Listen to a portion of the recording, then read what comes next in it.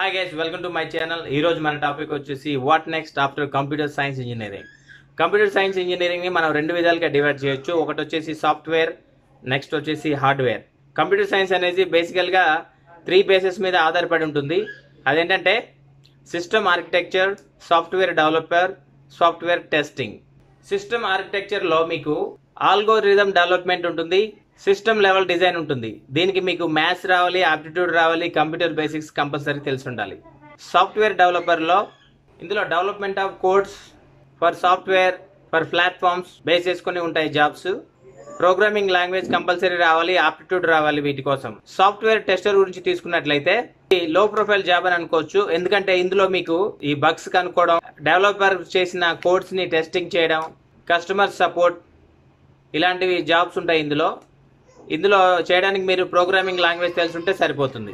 దీంట్లో two types of industries మనం బేసికల్గా చెప్పుకుంటాం. ఒకటి వచ్చేసి ప్రొడక్ట్ బేస్డ్ ఇండస్ట్రీ నెక్స్ట్ వచ్చేసి service based industry product based industry తీసుకున్నట్లయితే ఇందులో ఓన్ సాఫ్ట్వేర్ ఉంటుంది ఓన్ డెవలప్మెంట్ కోడ్స్ ఉంటాయి అన్నట్టు. సిస్టమ్ ప్లాట్ఫామ్స్ ఉంటాయి. Salary approximately four to five lakhs per annum ఉండే ఛాన్స్ ఉంది. ఇందులో మీకు మైక్రోసాఫ్ట్ గూగుల్ అడోబ్ రీడర్ ఇట్లాంటి కంపెనీస్లో మీకు జాబ్స్ వస్తాయి. ఈ ప్రొ ఈ ప్రొడక్ట్ బేస్డ్ ఇండస్ట్రీలో చేసే వాళ్ళకి చాలా వాల్యూ ఉంటుంది. మార్కెట్ వాల్యూ చాలా ఉంటుంది. వీళ్ళకి రిక్వైర్మెంట్స్ కూడా ఎక్కువ ఉంటాయి. సో వీళ్ళకి ముఖ్యంగా ప్రోగ్రామింగ్ లాంగ్వేజ్ రావాలి యాప్టిట్యూడ్ రావాలి. అంటే ఒక కాంపిటేటివ్ టైప్ సంబంధించిన యాప్టిట్యూడ్ లాంటివి వచ్చినట్లయితే చాలా బాగుంటుంది. ఇందులో చాలా కాంపిటీషన్ కూడా ఉంటుంది. ఎందుకంటే ఎవరు సాఫ్ట్వేర్ వాళ్ళు డెవలప్ చేసుకుంటారు కాబట్టి వాళ్ళకంటే వీళ్ళకి గ్రేట్గా ఉండాలనే ఉద్దేశంతో వాటి మీద ఎక్కువ వర్క్ చేస్తారు. నెక్స్ట్ సర్వీస్ ఇండస్ట్రీ తీసుకుందాం. ఇందులో కస్టమర్ సిస్టమ్ సాఫ్ట్వేర్స్ ఉంటాయి. ఇందులో కస్టమర్ సిస్టమ్ ప్లాట్ఫామ్స్ ఉంటాయి కస్టమర్ సాఫ్ట్వేర్స్ ఉంటాయి. ఇందులో కాంపిటేటివ్ ఎన్వైరన్మెంట్ ఎక్కువగా ఉంటుంది. హై ప్రొఫైల్ జాబ్స్ అనుకోవచ్చు ఇవి. Salary approximately three lakhs and above ఉంటుంది. ఇది టైట్ టైట్ పొజిషన్ ఉంటుంది అన్నట్టు ఎప్పుడు. అంటే కాంపిటేటివ్ ఉంటుంది కాబట్టి అన్ని ఇండస్ట్రీ వాళ్ళకి ఎందుకంటే కస్టమర్ వాళ్ళు ఎవరైనా ఒక కస్టమర్ ప్రొడక్ట్ బేస్ చేసినప్పుడు ఆ కంపెనీ ఈ కంపెనీ రీచ్ అయ్యి మా బాగా చేస్తాం మాది బాగా చేస్తాం మా సాఫ్ట్వేర్ బాగుంటుంది. మాది బాగుంటుంది వాళ్ళు కోర్స్ లాగా చేసి ఇస్తారు కాబట్టి ఫుల్ కాంపిటీషన్ ఉంటుంది ఇందులో. ఇలాంటి జాబ్ కొట్టాలంటే మీకు ఖచ్చితంగా కమ్యూనికేషన్ స్కిల్స్ రావాలి అండ్ ఆప్టిట్యూడ్ రావాలి ప్రోగ్రామింగ్ లాంగ్వేజ్ కూడా రావాలి.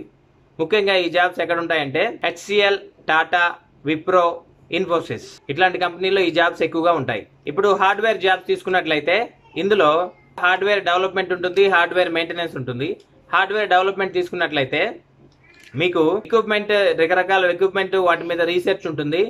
ర్యామ్ కానీ ప్రాసెసర్ కానీ గ్రాఫిక్ గ్రాఫిక్ కార్డ్స్ కానీ ఇట్లాంటివన్నీ తయారు చేస్తూ ఉంటారు. దీనికి మీకు ప్రోగ్రామింగ్ లాంగ్వేజ్ ఆప్టిట్యూడ్ ఖచ్చితంగా వచ్చి ఉండాలి. మీకు కంపెనీస్ తీసుకున్నట్లయితే ఎలాంటి వాళ్ళు తీసుకున్న తీసుకుంటారు అంటే మీకు ఇంటెల్ ఎన్విడియా ఐబిఎం సిస్కో అట్లాంటి వాళ్ళు ఎక్కువగా ఈ ప్రొఫైల్ మీద జాబ్స్ అడుగుతూ ఉంటారు అన్నట్టు ఇప్పుడు హార్డ్వేర్ మెయింటెనెన్స్ తీసుకున్నట్లయితే ఇవి చాలా లో ప్రొఫైల్ జాబ్స్ ఉంటాయి. హార్డ్వేర్ సాఫ్ట్వేర్ ఇన్స్టాలేషన్ మెయింటెనెన్స్ ఉంటాయి. స్మాల్ డిపార్ట్మెంట్స్ ఉంటాయి అన్నట్టు అంటే పెద్దగా అవసరం ఉండదు వీళ్ళకి. సో ఎప్పుడో ఒకసారి ప్రాబ్లం వస్తుంది. చిన్న చిన్న బగ్స్ కానీ లేదంటే సాఫ్ట్వేర్ ప్రాబ్లమ్స్ కానీ ఇన్స్టలేషన్ ప్రాబ్లమ్స్ కానీ వస్తే ఈ ప్రొఫైల్ చేస్తుంటారు. మీకు ఎక్కువగా మీరు హార్డ్వేర్ అండ్ నెట్వర్కింగ్ అని బయట కోర్సెస్ దొరుకుతుంటాయి అవి చేసిన వాళ్ళు.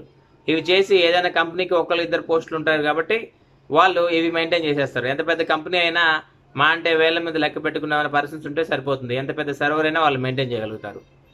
ఇవే కాకుండా ఫ్యాషన్ టెక్నాలజీ ఉంటుంది. తెలుగు లలిత కళలు అని ఉంటాయి. లేదంటే ఫిల్మ్ ఇండస్ట్రీకి సంబంధించిన కోర్సెస్ కానీ డిపార్ట్మెంట్స్ కానీ ఏదైనా ట్వంటీ ఫోర్ ఫ్రేమ్స్లో ఎత్తుకొని అలా ట్రై చేయొచ్చు. లేదంటే మీరే ఒక సాఫ్ట్వేర్ కంపెనీలో ఎక్కడన్నా పనిచేసి కొన్ని సంవత్సరాల తర్వాత మీరే ఒక సాఫ్ట్వేర్ని క్లయింట్స్ని పట్టుకొని ఎత్తుకొని ఒక సాఫ్ట్వేర్ కంపెనీ పెడితే స్మాల్ బిజినెస్గా మీరు వర్కౌట్ చేయొచ్చు. ఎందుకంటే మీరు చూస్తున్న ఈ అమెజాన్ ఫ్లిప్కార్ట్ ఇట్లాంటివన్నీ సాఫ్ట్వేర్ బేస్డ్ ఆన్లైన్ మార్కెటింగ్ మీద ఉన్నాయి.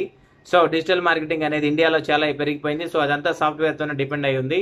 ఇప్పుడు యాప్స్ తయారు చేసి కూడా వాళ్ళు చాలా బాగా సంపాదిస్తున్నారు చాలామంది అండ్ uh, అంతేకాకుండా వెబ్ డిజైనింగ్ కూడా నేర్చుకొని సెపరేట్గా అలా కూడా తయారవుతున్నారు. అంటే మంచిగా డెవలప్ అవుతున్నారు. సో ఈ విధంగా సాఫ్ట్వేర్ వాళ్ళకి చాలా ఎక్కువగా ఉంది. ఈ సాఫ్ట్వేర్ వాళ్ళు బేస్ చేసుకొని ఎంతోమంది నాన్ సోర్సింగ్ అవుట్ సోర్సింగ్ అందరూ చాలామంది పనిచేస్తున్నారు. సో సాఫ్ట్వేర్ వాళ్ళకి లైఫ్ ఎప్పుడూ ఉంటుంది. బట్ మనం తీసుకొని చూస్ చేసుకున్న పొజిషన్ రీచ్ చేసుకునే ప్లాట్ఫామ్ ఆర్ సాఫ్ట్వేర్ని డిపెండ్ అయి ఉంటుంది. సో సాఫ్ట్వేర్ వాళ్ళు ఎప్పుడప్పుడు అప్డేట్ అవుతూ ఉండాలి. మార్కెట్లో ఏది ఇంపార్టెంట్గా నడుస్తుందో దాని గురించి తెలుసుకుంటూ ఉంటే ఆటోమేటిక్గా మీరు పైకి వెళ్తారు. So you never look back again. So మీకు కంపెనీ వాళ్ళే బయట ఫారిన్స్కి పంపిస్తారు. మీ వర్కింగ్ స్కిల్స్ బాగుంటే. కాబట్టి I wish all the best guys. Software వాళ్ళు మంచి ప్రోగ్రామింగ్ మంచి గ్రిప్ తెచ్చుకొని జాబ్స్ తెచ్చుకోవడం మంచిది. ఓకే గైస్ ఈ ఇన్ఫర్మేషన్ మీకు నచ్చింది అనుకుంటున్నాను. ఒకవేళ నచ్చినట్లయితే ఖచ్చితంగా మీ ఫ్రెండ్స్కి షేర్ చేయండి. మళ్ళీ ఒక మంచి వీడియోతో కలుద్దాం. అప్పటి వరకు బాయ్ బాయ్